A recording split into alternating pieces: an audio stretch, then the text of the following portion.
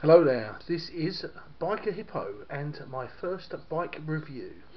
I've had my bike now nearly 8 months and I would like to do a quick review on it. Okay, so first of all, there's the helmet I wear, open face with goggles and a mask. The mask keeps the flies off, finds comes in very handy. Uh, before I had the mask I swallowed a few flies. Uh, there's my gloves and there's my camera waterproof case. Right, let's talk about the bike. Um, basically, I'm 53 years old, used to ride motorbikes when I was younger, wanted to get back into them. On my bucket list, I would like to do uh, Route 66. Not all of it, but parts of it, on a, a nice big bike. So I plan to pass my bike test. I want to do a direct access in the next year. Before then, me and my friend decided to practice and learn on 125s. So we end up getting new bikes, and I've gone for the Sinnis Hoodlum. Being a big guy, I'm 53 and I'm yeah old and big. I'm 53 years old and I weigh about 20 stone. So 125, the power to weight ratio isn't very good. However, the bike doesn't look like a 125, it looks much bigger.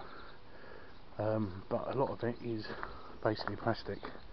Um, a lot of plastic here, uh, plastic on the uh, on the horns, but from a distance it doesn't look like plastic it looks like engine uh, so it makes it look bigger. Right a little bit of spec on the bike. Um, like I said it's a 125 in fact it's a 124 cc it's four stroke um, air cooled and it's fuel injected overhead camshaft. The power is about 11 brake horsepower which is 8 kilowatts and it's 5 speed um, manual clutch nice size fuel tank 13 and a half litres. Um, it weighs nearly the same weight as me. It weighs 140 kilos. Seat height is about 730 um, so ideal cruiser height. Uh, it is very well for me very nice riding position. You can see there the footrests and the front brake all kind of the old cruiser style. And you can see on the other side uh, gear selector and the left footrest, very comfortable. Um, obviously it's got pillions, but uh, being a learner 125, and not won't be taking any passengers, and, um, especially on the 125. Uh, right, a little bit more about the bike. Um, as you can see, it's a um, analog and digital display. Uh, the top part, the bigger part, is kph. The bottom part, which you can read quite easily, is miles per hour. Uh, the digital side tells you your fuel, and it also warns you when you need maintenance servicing you can free see the front uh, telescopic uh, forks. Um, they're not upside down they're the old style. Um, and they're fine. Um, I do find they go down quite a long way when I get on. And the cables move a lot when I get on but that's down to my weight. Um, the back ones as you can see um, are twin coil sprung and adjustable. You can see the adjuster there. So they're adjustable um, it's got on the side stand it's got automatic cut off um, which is here. So that will cut off when you have the side stand on. I've got obviously the full stand on moment which is very handy especially if you're working on the vehicle. Um, you can see at the front it's a triple piston caliper on the front. Uh, disc obviously brakes and on the back they on the older models they used to have drum. These are also disc now same as the front. What you'll find is on the back brake it does not just affect the obviously through the back brake it also is linked to the front brake.